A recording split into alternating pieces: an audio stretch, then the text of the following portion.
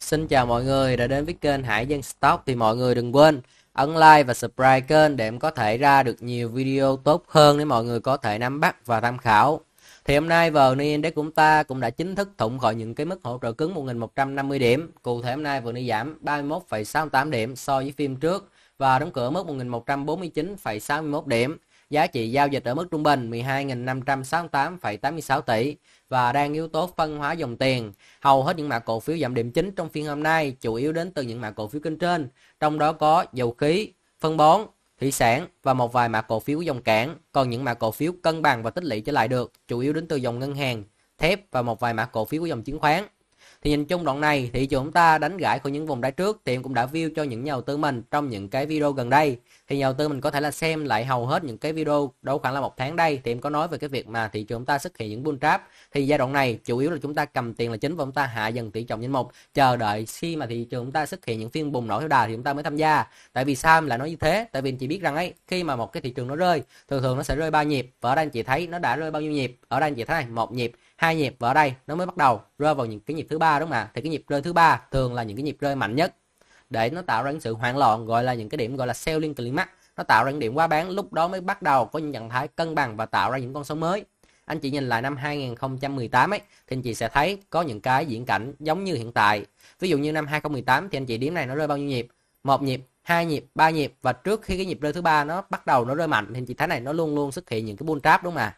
Tạo ra cho những cái nhà đầu tư mình tưởng chừng thị trường đã vào sóng và khi mình đu vào sao dính ngay những cái đỉnh ngắn hạn. Rồi sau đó nó rơi thêm đâu khoảng là 5 đến 6 phiên nữa thì lúc đó mới bắt đầu nó chính thức tạo đáy. Thì dòng này thị trường chúng ta nó cũng tương tự như vậy. Thì em cũng sẽ kỳ vọng là thị trường chúng ta trong những cái phiên sắp tới nó sẽ rơi về những cái mốc ấy là 1100 35 à, à, điểm đến những cái vùng ấy là 1120 à, điểm là những vùng khả năng thị trường chúng ta nó sẽ tạo đáy. Tại vì ở đây nó có một cái gap này, nó sinh ra này thì khả năng sẽ quay về lắp hết cái gap này rồi sau đó nó sẽ tạo ra những cái sự cân bằng cho VN trong giai đoạn tiếp theo. Thì hôm nay em cũng sẽ chia sẻ cho nhà đầu tư mình ấy cái cách để mình biết là khi nào thị trường vào sóng để mình không thể bỏ lỡ những cơ hội sắp tới của thị trường. Tại vì đánh giá cơ hội sắp tới thị trường nó sẽ là một cơ hội lớn cho nhà đầu tư nào đang cầm tiền mặt. Nhà đầu tư nào cũng đang mà xem video của em thì chắc chắn giai đoạn này hầu hết là cầm tiền mặt là chính, chứ không phải là cầm những lượng cổ phiếu. Tại vì anh chị biết, trong một cái thị trường con gấu này đi, nếu mà chúng ta cầm cổ phiếu hay là chúng ta mua bán trong một thị trường con gấu thì xác suất thua của chúng ta nó sẽ rất là cao. Tại vì anh chị biết 80% cổ phiếu nó đều đi theo thị trường chung. Nếu thị trường chung đi lên đi, thì 80% cổ phiếu nó đều đi lên. Và anh chị mua 10 mã thì anh chị đã đúng hết 8 mã. Còn trong một thị trường đi xuống thì ngược lại. Và trong giai đoạn này hầu như nhà đầu tư nào tham gia mua cổ phiếu là nhà đầu tư mình sẽ bị thua lỗ, đúng không ạ? Và dòng này các anh chị mua hàng chưa kịp về tuần 3 là đổ, đo khoảng là 5 đến 6% hoặc có thể là lỗ 10 đến 15% nếu mua những cái mã cổ phiếu mà nó mang những trạng thái gọi là đầu cơ. Thì nhìn chung giai đoạn này em cũng sẽ bắt đầu em hướng dẫn cho nhà đầu tư mình để mình có những kiến thức để mình có thể là tìm được những cái chân sống để mình có thể là đầu tư ngay khi mà xuất hiện bùng nổ theo đà. Thì để chúng ta xác nhận bùng nổ theo đà thì chúng ta phải biết rằng ấy là chúng ta phải xác nhận được những phiên đổi cung thì phiên đổi cung là gì? Phiên đổi cung ấy là những cái phiên ấy có những cái dấu hiệu là đầu phiên ấy là nó giảm nhưng cuối phiên nó có những trạng thái rút chân lên. Ví dụ như phiên này anh chị thấy này đầu phiên nó giảm điểm khá là mạnh nhưng sau đó nó lại có những trạng thái rút chân thì nó được gọi là những phiên đỡ cung. Thì khi mà chúng ta thấy được những phiên đỡ cung thì chúng ta mới bắt đầu chúng ta điếm những phiên bùng nổ đà và anh chị biết rằng ấy cái phiên bùng nổ đà là một cái phiên ấy tăng mạnh về giá và khối lượng. Cái biên độ giá của nó tăng phải 1,5 phần trăm và cái khối lượng của nó phải gấp 1,5 đến 2 lần khối lượng trung bình 10 phiên.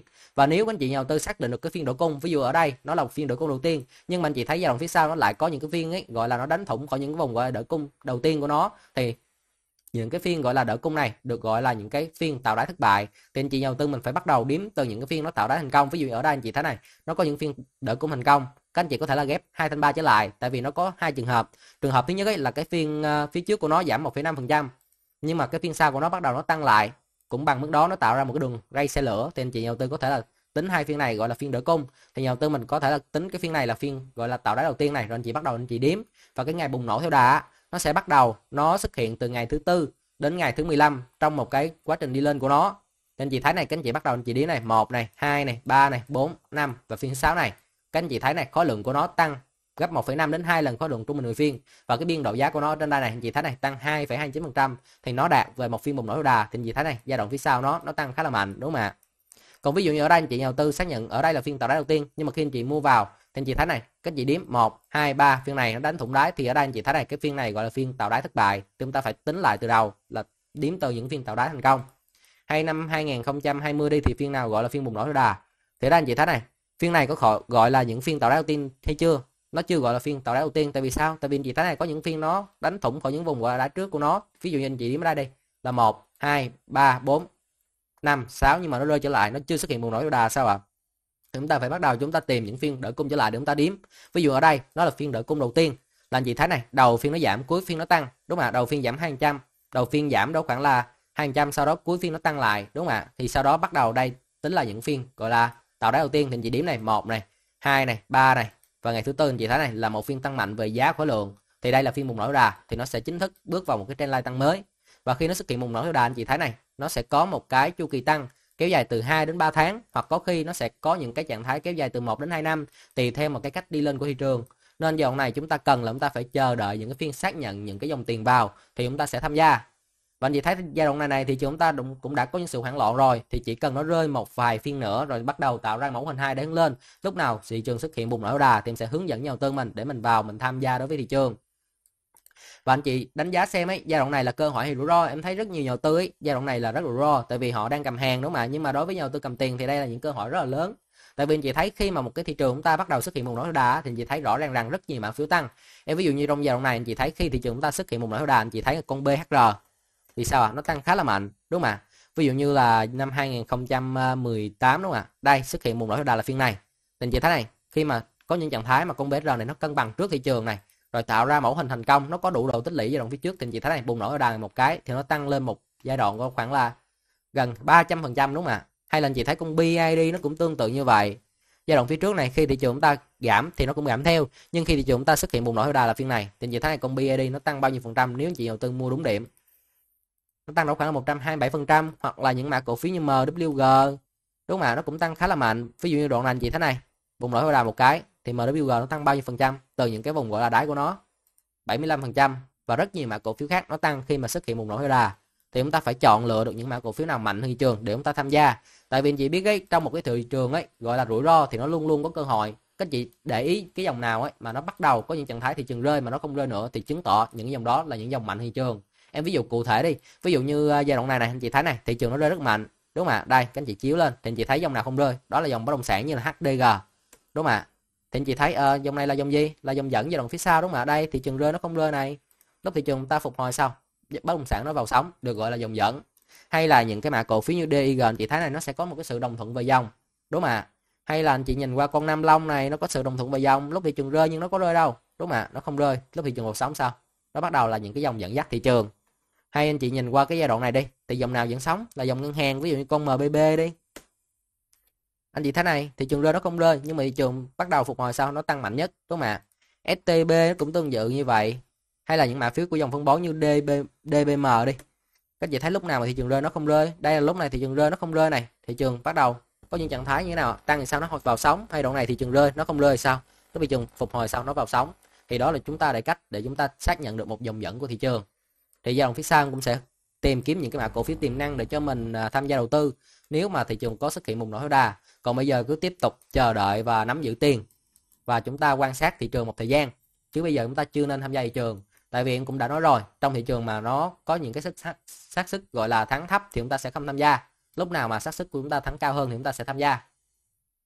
Thì bây giờ cũng sẽ phân tích vào những mã cổ phiếu nhiều hơn để nhà đầu tư mình có thể là nắm bắt và tham khảo thì đầu tiên ấy là về dòng ngân hàng đi. Dòng ngân hàng đánh giá giai đoạn này khả năng sẽ tạo đáy trước thị trường. Tại vì anh chị thấy thị trường rơi đi nhưng mà những mã phiếu của, của ngân hàng nó có rơi nhiều nữa hay không? Ví dụ con ACB này anh chị phải nhìn qua về cái lực cung cầu nó. Thì anh chị thấy trong một cái thị trường ấy mà có những trạng thái rủi ro nhưng những mã phiếu này anh chị thấy vẫn giữ giá rất tốt thì chứng tỏ ở đây có những cái lực tiền và có những cái lực cầu đỡ giá giúp cho mã phiếu không rơi thì chứng tỏ những cái mã phiếu này nó đang có những xu hướng mạnh thị trường và đang có những cái tín hiệu tạo đáy trước thị trường. Và ở đây nếu mà thị trường phục hồi, ví dụ tạo đáy thành công xuất hiện một nỗi đà, thì em giá cái dòng ngân hàng này khả năng là sẽ là những dòng lít giai đoạn phía sau nên chúng ta phải cần quan sát thêm. Tại vì đối với dòng ngân hàng này nó chỉ còn thiếu một cái là cái thiếu cái dòng tiền. Ở đây chị thấy này, con ACB mẫu hình này một đáy này, và ở đây là đáy số 2 của nó đúng không ạ? Nếu mà nó tạo ra cái đáy số 2 thành công, xuất hiện một cái phiên bùng nổ thì lúc đó chúng ta sẽ vào, chúng ta tham gia đối với ACB còn bây giờ chúng ta vẫn có thể nắm giữ được đối với mã phiếu này. Cái biên của nó cũng có những biên tích lũy và sideways cũng khá là tốt này. BID thì khả năng nó cũng bắt đầu có dòng tiền vào. Thì đây là dòng tiền vào nó, anh chị thấy này. Dòng tiền vào rất là quyết liệt nhưng nó gặp lại kháng cự thì nó phải cần hấp thụ lại lượng cung do nhà đầu tư đang kẹp hàng bán ra này. Do đầu tư đang có lại bán ra này thì nó sẽ cần những cái biên độ tích lũy và sideways để hấp thụ hai nguồn cung đó. Hấp thụ hai nguồn cung đó thành công thì lúc đó mới bắt đầu có những điểm tham gia. Giống như giai đoạn ờ, năm 2018 này, anh chị thấy này, thị trường chỉnh nó cũng điều chỉnh theo. Đúng không ạ? Nhưng mà lúc ấy mà thị trường vào sóng. Và có những dòng tiền vào, ví dụ ở đây chị thấy một định, một đáy, hai đáy, bắt đầu tạo ra mẫu hình gì ạ? Đây, mẫu hình cốc tay cầm đúng không ạ. Là mẫu hình cốc tay cầm này là một những mẫu hình mà ông William O'Neill có đề cập trong ờ, quyển làm giàu ở chứng khoán. Thì lúc nào chúng ta tham gia, khi dòng tiền vào xác nhận, chúng ta sẽ tham gia ở điểm này, đúng không ạ? Nên chúng ta phải chờ đợi xem nó có những mẫu hình thành công hay không. Và chị thấy này khi nó gặp lại kháng cự thì cần tích lũy và sẽ quay trở lại, hoặc là nó tạo ra những cái biên độ đi ngang cho nó, đúng không ạ? CTG đoạn này chị thấy này. Nó cũng là một cái Dạ, chu gạt chu trình gọi là những yếu tố gọi là trên là giảm nhưng ở đây nó bắt đầu có những tín hiệu dòng tiền vào và giúp đỡ giá cổ phiếu đi lên. Và nếu giai đoạn phía sau, nếu thị trường chỉnh mà nó không chỉnh nữa, mà nó cân bằng được thì giai đoạn phía sau thì sẽ là cơ hội lớn cho CTG tại vì đây nó đang hình thành mẫu hình này một đáy, hai đáy. Thì khi nào có dòng tiền vào chúng ta sẽ tham gia, còn bây giờ chúng ta cứ đứng ngoài, chờ đợi xem nó có tạo ra mẫu hình hai đáy thành công hay không. Nhưng thường thường nó rơi ấy, anh chị biết rằng ấy, nó rơi, ví dụ ở đây, rơi này một nhịp này, hai nhịp này, nhịp thứ ba rơi mạnh nhất, ở đây anh chị thấy này, rơi bao nhiêu? Một nhịp này hai nhịp này, nhịp thứ ba rơi mạnh nhất đúng không ạ? Bắt đầu tạo mẫu hình hai đáy hướng lên. Ở đây cũng tạo ra mẫu hình hai đáy hướng lên này anh chị thấy là nó vẫn có những nhịp hồi đúng không ạ? Và trong nhịp hồi đó, nếu nhà đầu tư nào mình bắt đúng ấy, thì cũng có thể là kiếm những khoản lợi nhuận đó khoảng là 15 đến 20 phần trăm đúng không ạ? Thì chúng ta sẽ canh những cái nhịp hồi đó để chúng ta tham gia đối với những cái mã phiếu ngân hàng. Thì CTG này chúng ta vẫn có thể nắm giữ thêm, chờ đợi thêm.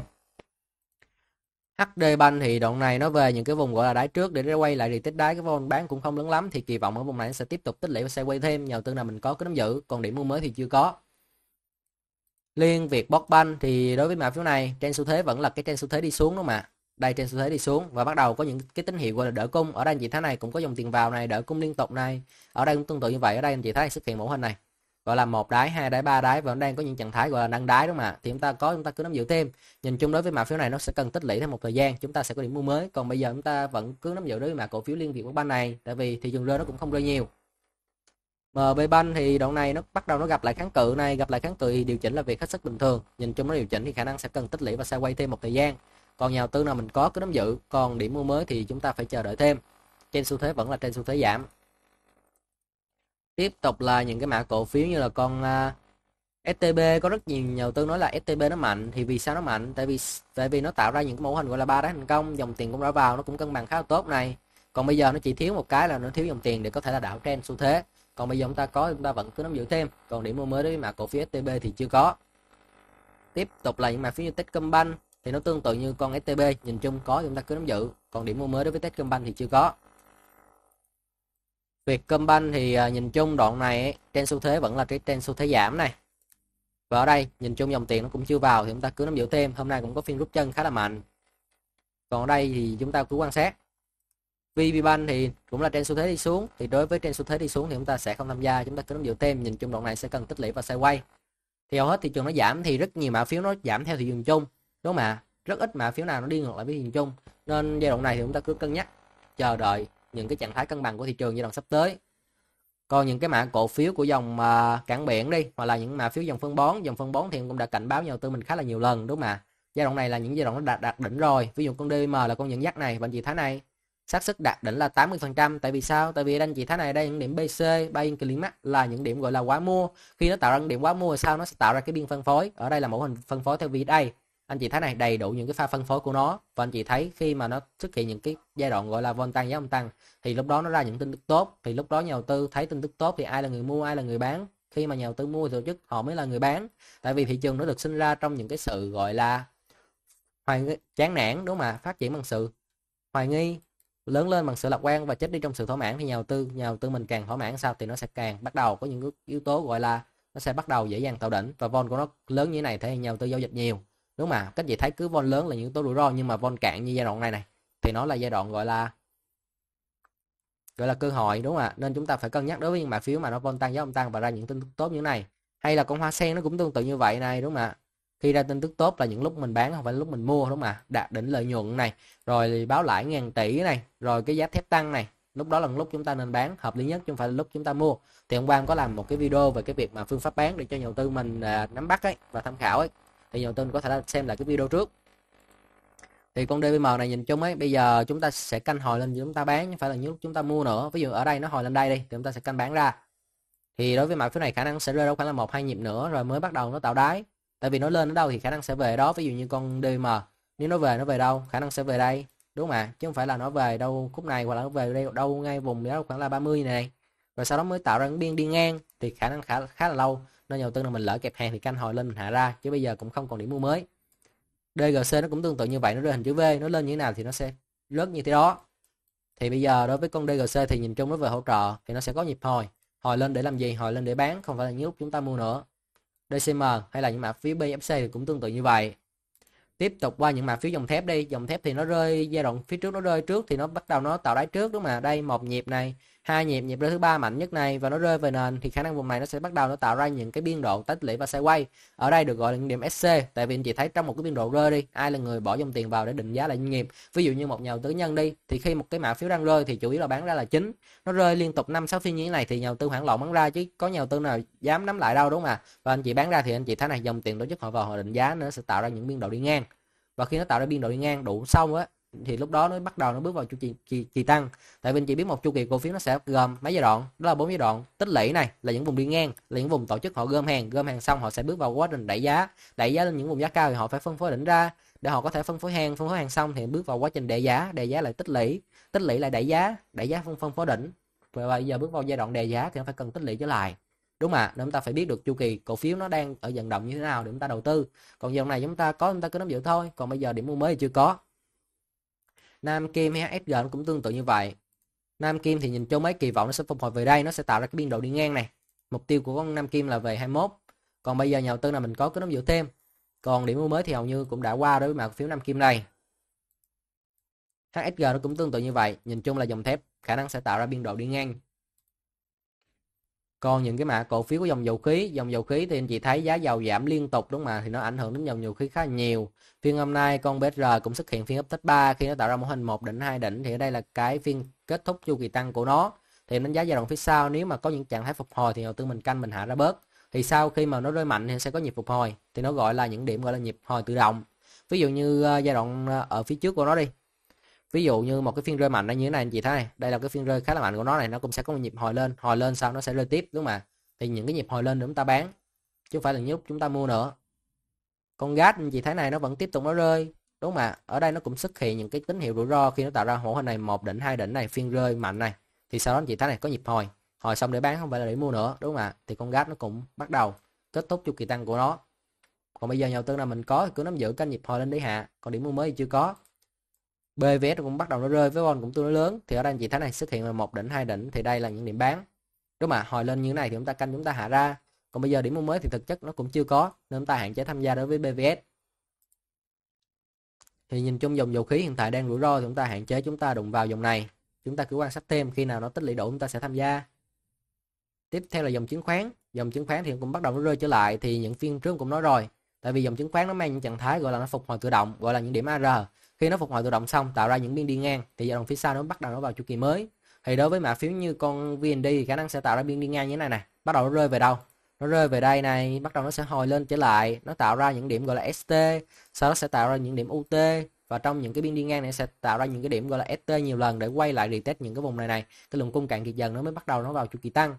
Rồi sau đó bắt đầu tạo ra những biên đi ngang đâu khoảng là một đến 2 tháng hoặc là 6 tháng hoặc là một năm. Rồi sau đó phải có một điểm spring lúc đó mới bước vào trên lay tăng còn bây giờ chúng ta chưa có điểm mua mới đối mã phiếu này. Nó đang trên là giảm muốn đánh lướt hoặc là đánh tay cộng dòng phía sau. Thì canh nó rơi về đáy như thế này, nó cân bằng một vài phiên sẽ tham gia.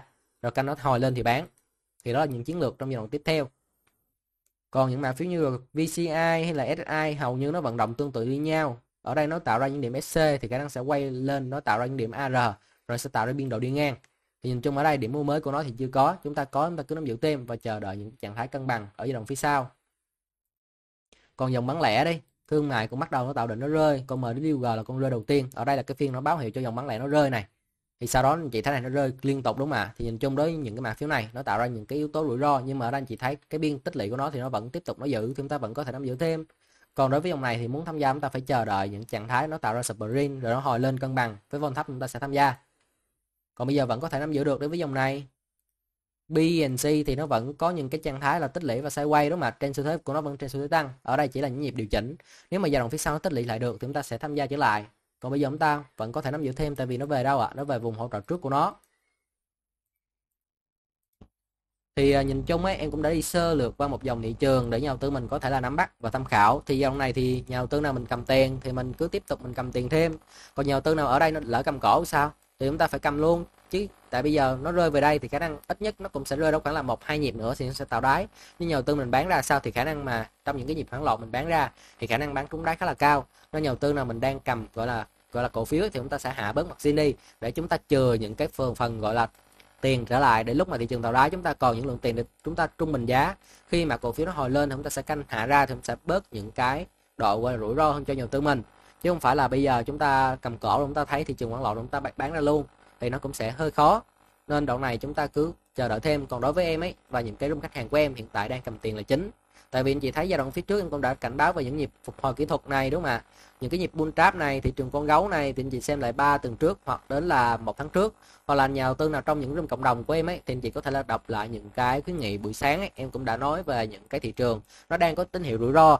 Thì nhà đầu tư mình có thể là tham gia vào những room khuyến nghị như này này để có thể là đọc lại những cái ờ, khuyến nghị của em ấy trong những cái giai đoạn gọi là hầu như là trên ờ, một tháng gần đây thì em đều nói về cái việc mà chúng ta nên giữ tiền để chúng ta có những cơ hội đầu tư dần phía sau. Thì cảm ơn nhà đầu tư mình đã lắng nghe video. Thì à, chúc anh chị đầu tư à, trong một chu kỳ sống mới sẽ kiếm được những cái khoản lợi nhuận lớn hơn.